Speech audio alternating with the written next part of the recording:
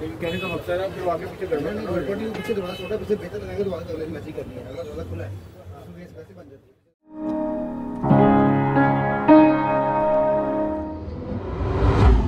आप लोगों को बताएँगे Wagon R V XL model के बैकडोर स्पीकर्स की इंस्टॉलेशन का प्रोसेस तो इस प्रोसेस में हम इस वक्त जा रहे हैं हॉल रोड लाहौर और वहाँ पर हम आपको बताएँगे कि क्या प्रोसेस है इसके स्पीकर्स का, किस तरह की साउंड है एच एंड एवरीथिंग आपको बताई जाएगी।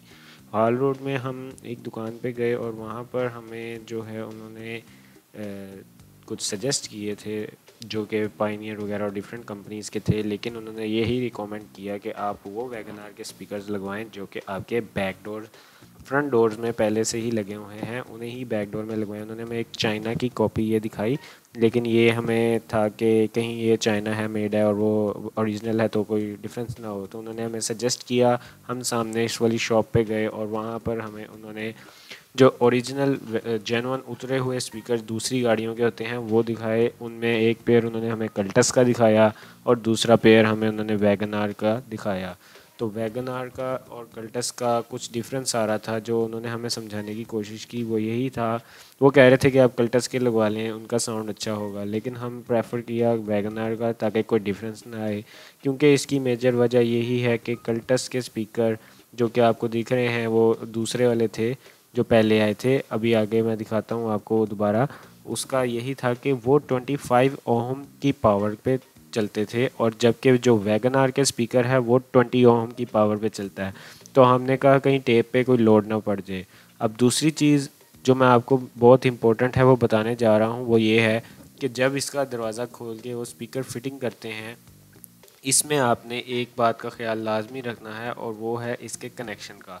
कनेक्शन का ख्याल ये रखना है कि इसके अंदर एक जैक पहले से ही लगा होता है और इसके अलावा वो जो फिटिंग करते हैं, अक्सर वो लोग करते ये हैं कि वो लगाते हैं अपनी तार। अपनी तार वो लगाते हैं आगे से कनेक्शन या किसी और जगह से, किसी किट से कनेक्शन देने के लिए। आपने इस चीज़ को अवॉइड करना है और आपने लाजमी लाजमी इस बात का ख्याल रखना है कि आप अपना स्पीकर को जैक पे लगवाएँ। अभी मैं आप लोगों को इंडिकेट करके दिखाता हूँ कि जैक कहाँ पर होता है।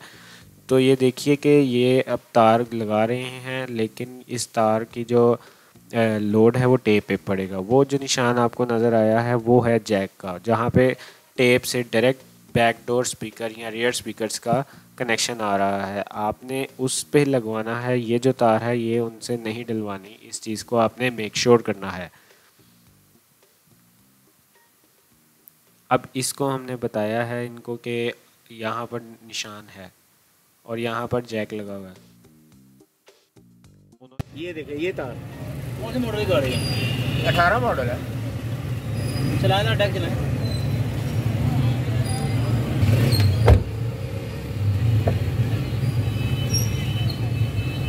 ये चाबी लगा। निकली गई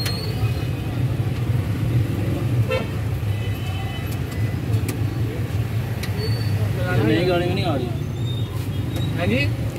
कह रहे हैं इसमें नई गाड़ियों में नहीं आ रही। आ रही। है ना इसमें?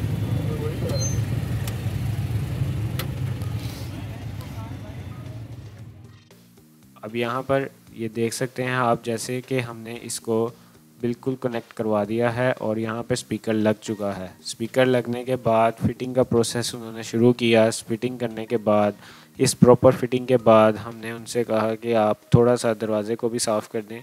उन्होंने साफ़ किया और बाद में फ़िटिंग कर दी। इसी तरह दूसरी साइड का भी किया। आई होप आप लोगों को ये वीडियो पसंद आई होगी। काइंडली हमारे चैनल को सब्सक्राइब करें और इसको दूसरों के साथ शेयर करें जिनको इस बात की अवेयरनेस नहीं है या जो लगवाने जा रहे हैं स्पीकर थैंक यू